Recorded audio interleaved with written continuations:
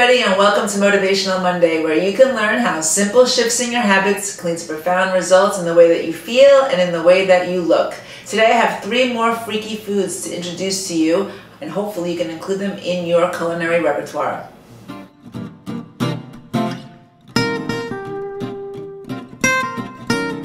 So, the first freaky food are maitake mushrooms. And you may have heard me talk about these before because these are great to help in the prevention and the treatment of cancer. Now look how beautiful they are. So you may not have seen it before, which is why I wanted to introduce you to what they look like. They're also known as hen of the woods mushrooms, highly edible and incredibly nutritious. Maitake mushrooms have an immunomodulating effect, which means they modulate your immune system, they protect your immune system, they strengthen it when it needs strengthening it and strengthening and, if, and it also helps to um, protect your immune system when it's overactive like in autoimmune diseases. It has shown to help uh, lower viral activity in the body and it also boosts natural killer cell activity. So in that way it helps protect you against cancer and it kills off cancer cells. It helps protect you against cancer cell formation and tumor formation rather. And it also helps to block any sort of circulation to cancer cells. So it's wonderful to include in your diet when you're either looking to prevent cancer or if you're being treated for cancer. This is often made into extract form and put into pills or liquids that people can use uh, in a more concentrated form to help fight off cancer. So including maitake mushrooms in your diet would be great for you, just overall health and well-being and protect you against cancer. And the ways that you can do that is you can grill it or you can just put it into soups, which is what I intend to do with it after I shoot this video. So maitake mushrooms are freaky food number one. Oh, and another thing, maitake mushrooms are really good at helping to protect your blood sugar. So it's really good in the prevention of diabetes because it helps with the regulation of glucose levels in your body and it also has been shown to help with management of hypertension. So it's great for cardiovascular wellness as well. So it's a great food to include in your diet. Freaky food number two are known as sunchokes. They're also known as Jerusalem artichokes. And these are a great root vegetable in the sunflower species that are a really great source of inulin. And inulin is the carbohydrate contained in Jerusalem artichokes rather than a starch, giving them greater glycemic control. So when you eat this, you don't get that same insulin response that you would get from eating a starchier carbohydrate like potatoes. So again, inulin is the carbohydrate, not to be confused with insulin.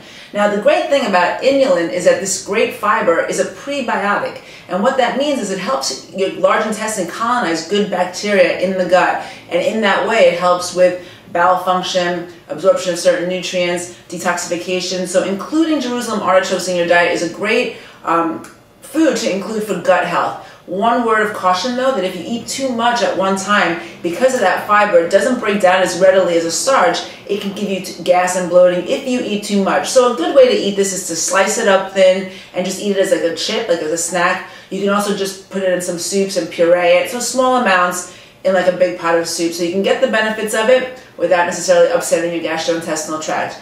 Another benefit of eating um, Jerusalem artichokes is that it helps with the absorption of calcium, which is great, and it's also a really nice source of potassium and iron. So including sunchokes, also known as Jerusalem artichokes, in your diet would be freaky food number two. The third thing I want to introduce you to today is actually a spice, and I've definitely mentioned it in my blogs before, but I thought you might, if you're not familiar with how it looks, I wanted to show you that this is what turmeric looks like.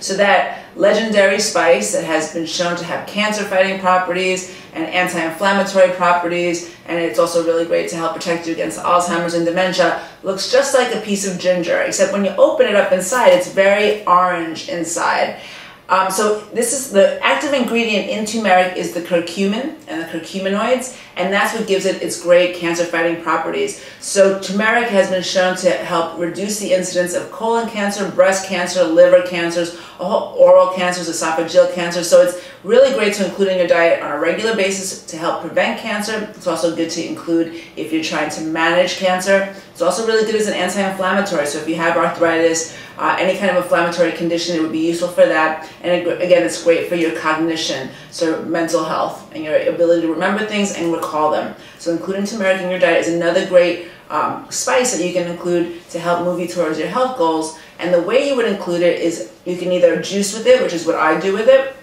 You can roast up a pan of lots of sweet potatoes and carrots and then roast some of that with it along with it. It has a little bit of a sweet quality to it. It tastes actually very nice. Um, and you can just put it in soups as well. It is one of the staples in Asian cuisine. So if you like Indian spice foods, you can also just do lots of roasted vegetables with um, an Indian spice blend with a curried vegetable dish. And that would also help you get the turmeric in your diet as well. So turmeric is freaky food number three.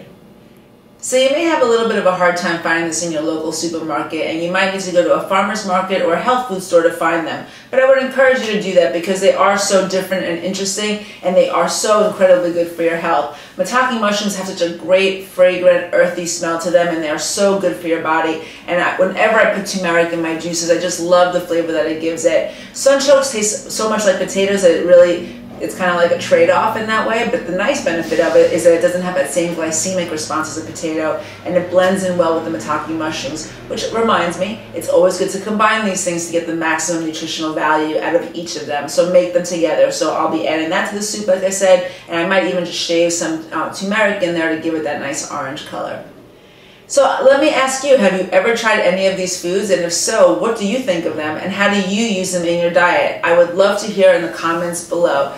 If you're watching on YouTube, you can click right below this video and it'll take you right to the blog and you can make your comments there.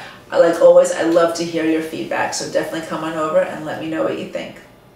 If you like tips like this and you're looking for more of them, then come on over to barbaramendeznutrition.com and you can sign up for the mailing list there. Once you do, I will automatically send to you an email every Monday with either a written or a video blog with a recipe, some nutritional suggestion, or some motivational tip to help move you towards your health goals. You can follow me on Facebook or Twitter, and if you think any of your people would benefit from knowing this information, then you can certainly forward the video to them. Thanks so much, everybody. Have an awesome Monday. Eat these foods and be healthy, and I'll see you next time.